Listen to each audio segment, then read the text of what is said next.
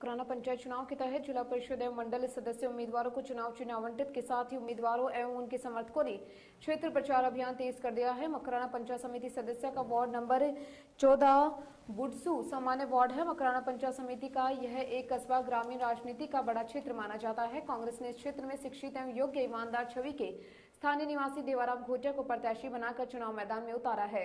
वहीं एक अन्य भारतीय कम्युनिस्ट पार्टी उम्मीदवार भी चुनाव मैदान में है और अपना अहम हिस्सा रखने वाले क्षेत्र में भाजपा द्वारा बाहरी व्यक्ति को टिकट देने से क्षेत्र में काफ़ी नाराज़गी देखी गई। नेताओं से स्थानीय व्यक्ति को ही टिकट देने का आश्वासन दिया। स्थानीय नेताओं की नाराज़गी का सामना भी करना पड़ेगा। भाजपा में टिकट वितरण को लेकर विधायक रूपाराम मुरवाते और पूर्व विधायक श्रीराम भीचर के आपसी खेचतान भी जगजाहिर होने से भाजपा वोटरों का विभाजन होने का खतरा भी यहाँ बढ़ गया है। ऐसे में कांग्रेस की जीत राह आसान हो सकती है। फैल रहे असंतोष को विधायक रूपाराम एवं उनकी टीम द्वारा मिटाने के पूरे प्रयास के साथ भाजपा की जीत का दावा कर रहे हैं। कांग्रेस प्रत्याशी देवाराम घाटिया ने न्यूज़ फ्लैश टीवी रिपोर्टर को दिए कांग्रेस ने टिकट वितरण में। सभी धर्म, जाति, समाज को महत्व दिया है। छत्तीस कौम के मतदाता संतुष्ट हैं और कांग्रेस ज़बरदस्त वोट से जीत दर्ज करवाएगी।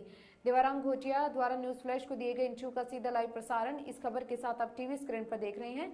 25 में से 20 सीटों पर कांग्रेस प्रत्याशी की जीत के साथ प्रधान बनाने का दावा किया गया है। है। पार्टी में कोई इसमें न्यूज़ प्लेस की टीम बूढ़सू में खड़ी है जहाँ वार्ड नंबर सरकारी स्कूल है। सरकारी स्कूल वार्ड नंबर ग्राउंड है वार्ड नंबर चौदह है। चौदह है जहाँ से कांग्रेस कैंडिडेट देवराम जी घोटिया चुनावी जनसंपर्क में लगे हुए हैं। हम आपसे पूछना चाहते हैं, किस तरह का माहौल आपके?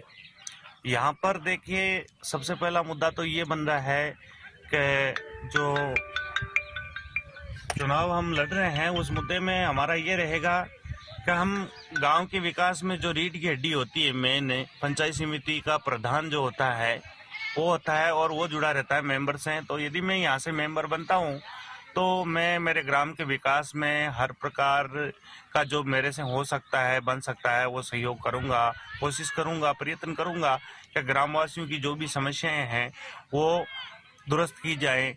गाँव की कोई भी किसी तरह की विकास में यदि मेरे से जो हो सकता है, वो मैं पूरा प्रयास करूँगा। और जो कैंडिडेट हमारे यहाँ पर है, सामने कैंडिडेट हैं, वो थोड़ा बाहर से आए हैं मतलब यहाँ के स्थानीय नहीं हैं तो हमारा मुद्दा ये भी रहेगा कि भाई सबसे पहले आप स्थानीय को चुने।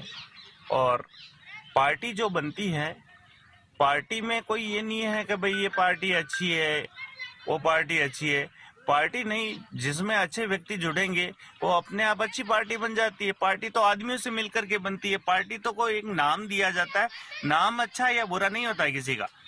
उसमें जुड़ने वाले जो लोग हैं, वो कैसे हैं? यदि हम लोग अच्छे होंगे, सभी चुन करके आए हुए व्यक्ति जो अच्छे होंगे, जनता जिन पर विश्वास करेगी, वो अच्छे होंगे तो पार्टी अच्छी क्यों नहीं होगी? अच्छी होगी और अच्छे विकास कार्य करवाएगी। तो हमारा तो ये है कि मैं कांग्रेस पार्टी से या वार्ड नंबर चौदह से प्रत्याशी हूँ और चुनाव लड़ रहा हूँ। तो मेरा मुद्दा यही है, मेन मुद्दा कि मैं विकास कार्यों को लेकर के मतलब आगे बढ़ना चाहता हूँ। चुनावी माहौल चूँकि परवान पे है और जो टिकट विड्रॉ होने तो आज विड्रॉ भी हो, हो चुके हैं। अब चुनाव मैदान में आप तीन प्रत्याशी यहाँ खड़े हैं। जी। आपका मुख्य मुकाबला सीधा कांग्रेस और बीजेपी के बीच में हो। हाँ सीधा कांग्रेस और विजय की है। बीच में लग रहा है। ऐसे में बीजेपी की टिकट को लेकर के असंतोष जो पनप रहा है तो क्या कहना चाहोगे? बीजेपी की जो टिकट वितरण जो हुआ है उसको लेकर आपका कोई कमेंट बीजेपी की जो टिकट वितरण हुई है उसमें मतलब आपसी बीजेपी के जो ऊपर आला अधिकारी है, उनकी आपसी जो खींचातान है, उस खींचा